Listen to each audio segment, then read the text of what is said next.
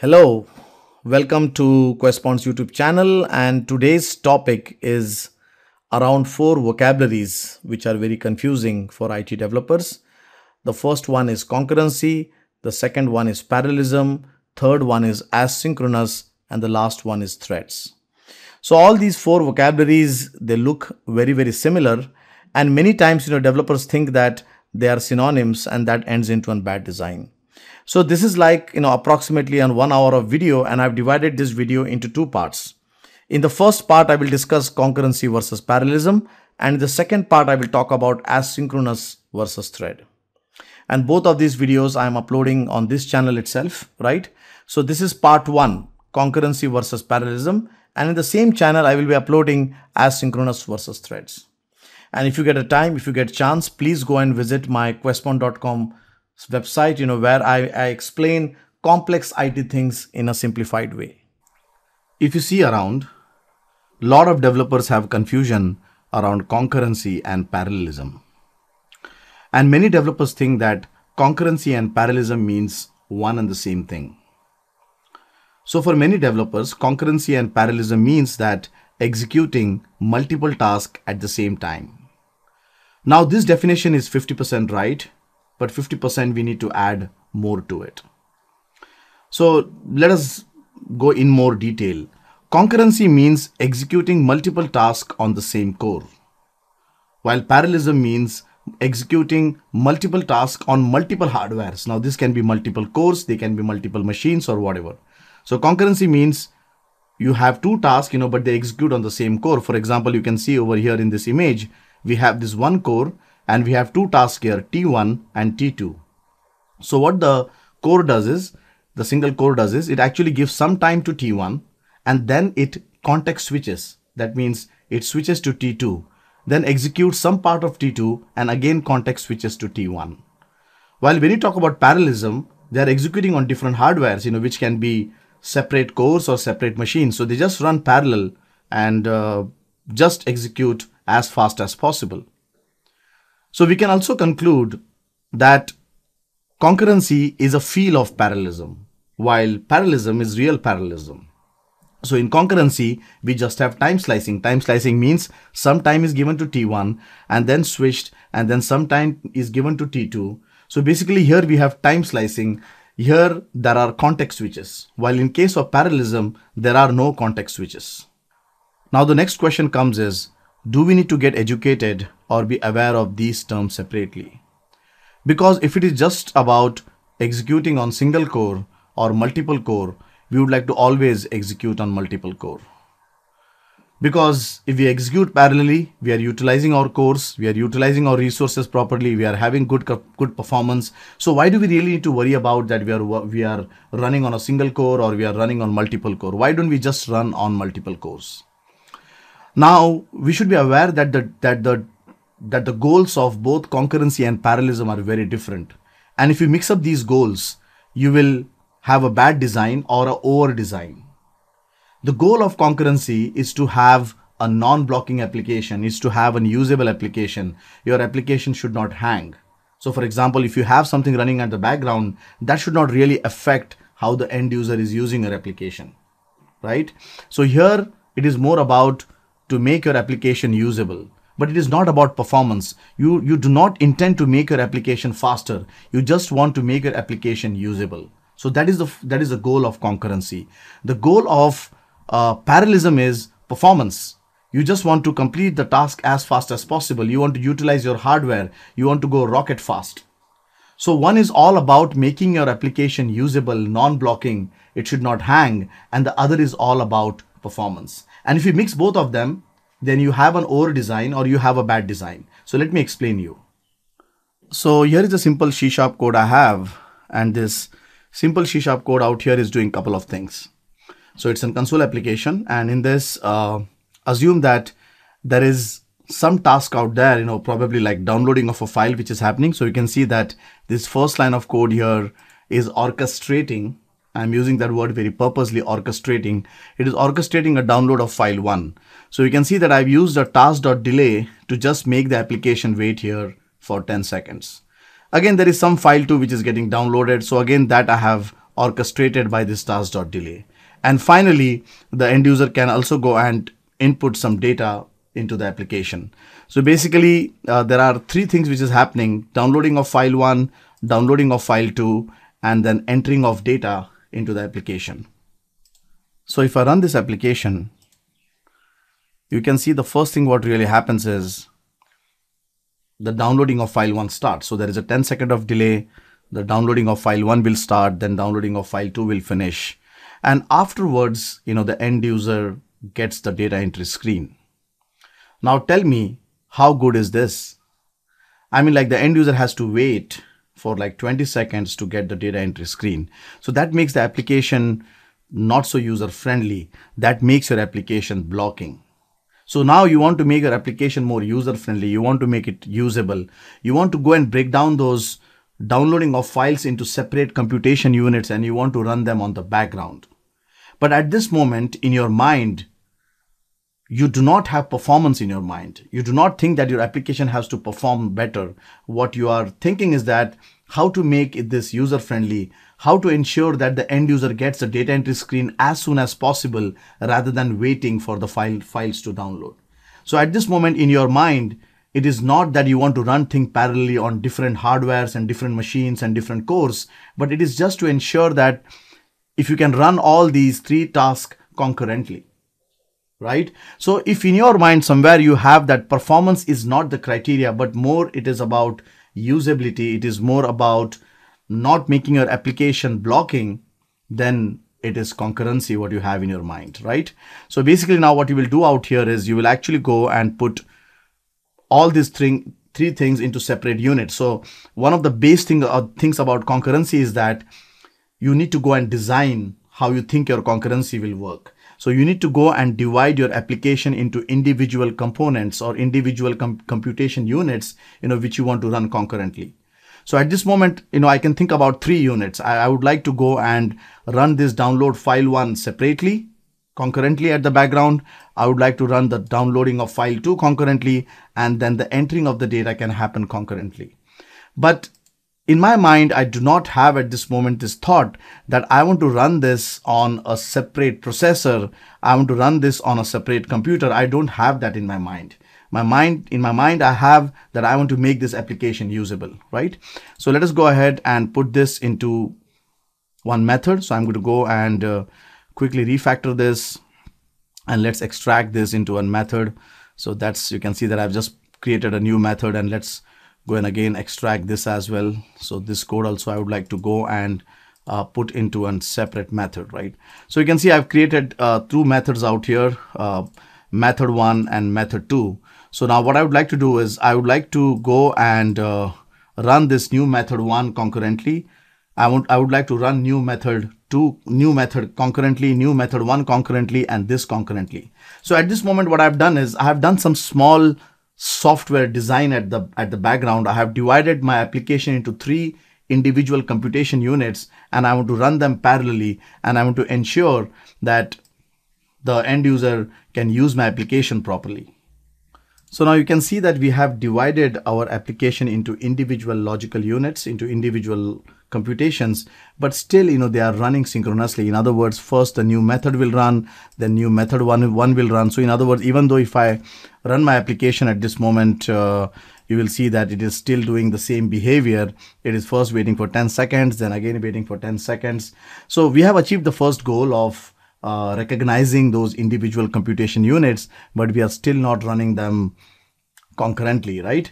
So in, in C Sharp, you know, if you want to run something concurrently, or I'll say asynchronously, I will come to this keyword asynchronously later on because I don't want to bombard you with a lot of things. So if I want to run this new method and new method one at the background, you know, in Sharp, we have something called as async keyword. So we can go and we can put here async and we can say that wait for this task to finish. You can see that, you know, I'm not trying to create threads here. You know, I, I have not said new thread. I did not do that because I am not in a mood to run parallelly. I do not want to run parallelly. Performance is not my goal. My goal is usability. So you can see that how carefully I'm not using those thread x is equal to new thread. I'm not using the thread syntax. I'm not using TPL, but I'm using async and await because my intention here is to run things at the background, but I don't want to create a lot of threads. So I can say here await, right? So now let us see. Now if you see here, uh, and now let us go ahead and run this application. So basically I have used async and await. In case uh, you, you, you, you do not have an idea of async and await, I would suggest you go and see this video, you know, where I've explained what exactly is this keyword async and await. So I will go and run this now. So the you can see now first thing is it's it's popping up the end user screen saying that enter your name. So I can go and enter my name out here and at the background, the downloads of both of the files are happening. So this is more usable application now, right? So you can see I did not run on multiple processors, but I made my application more usable, right?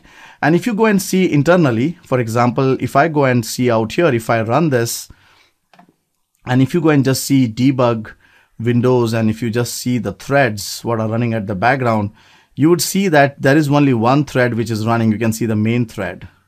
So you can see that he has not created lot of threads. It's just one thread which is actually doing time slicing. So sometime he's giving to this, sometime he's giving to this. It is giving to the end user the feeling of concurrency, the feeling of parallelism. It is beating those um, the, the psychological behavior of the end user, but at the same time, I'm not stressing out my resources. I'm not stressing out my cores. So ask yourself one question that do you intend performance?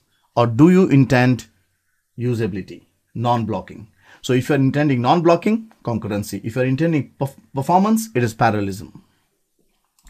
Now, because you have done some good deeds out here, you have divided your application into individual computation units, uh, you get some bonus here. The bonus here is that you can take this same individual computation agents or individual computation units and you can run them on parallel. In other words, I can go out here and I can say something like this. I can do something like this. I can take these individual units. For example, this is new method. I can go and I can run it on a separate thread or on a separate task. So in .NET, you know, we have something called as a task parallel library, which actually helps you to uh, take a logic and run on parallel processors you know so it so you can see here i am just running these individual units now parallelly right? So here if you see at this moment i should have three threads.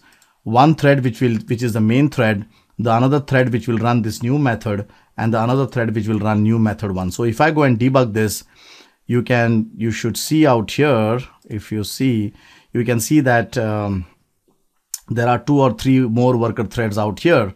You know why? Because uh, at this moment i am thinking about parallelism. So the bonus out here is that because you have divided these uh, application into individual units you do get a bonus of running them parallelly. But please note that in your first place when you started designing concurrency you never thought about this.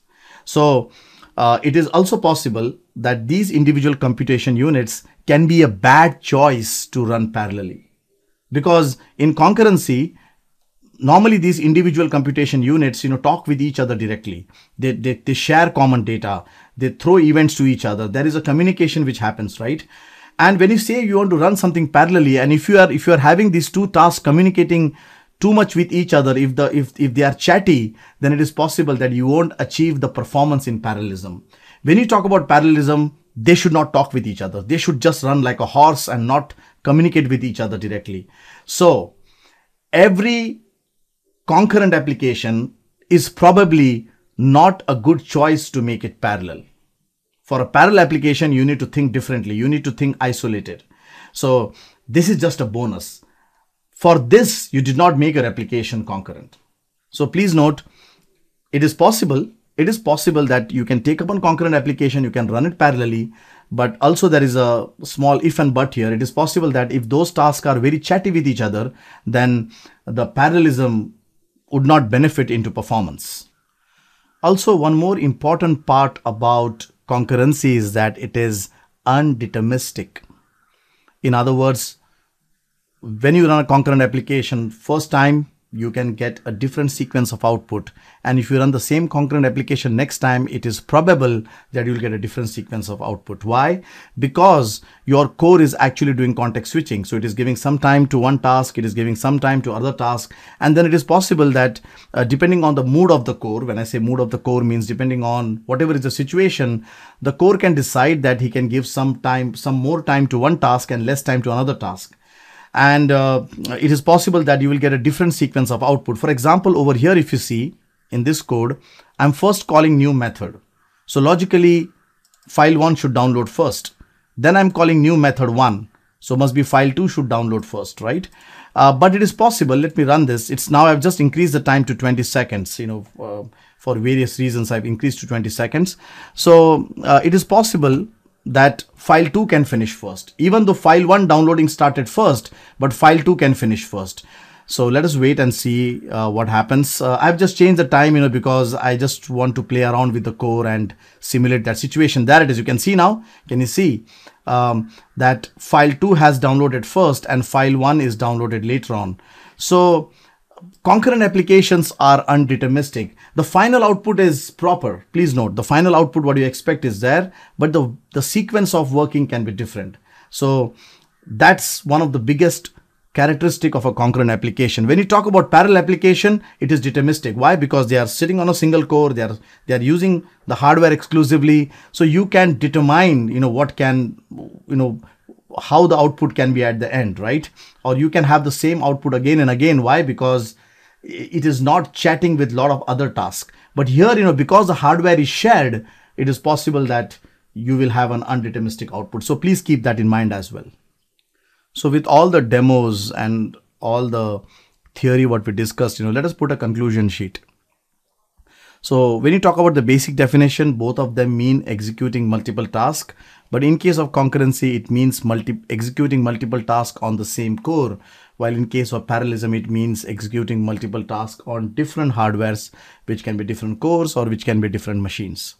So in other words, you know, concurrency is a field of parallelism. It uses the fundamental of time slicing. It does context switches. When you talk about the goal of concurrency, it is about making a program usable. It is about making a program non-blocking so that the end user can feel good about your program, right? While in case of parallelism, it is about performance. So you just want to increase your performance X times.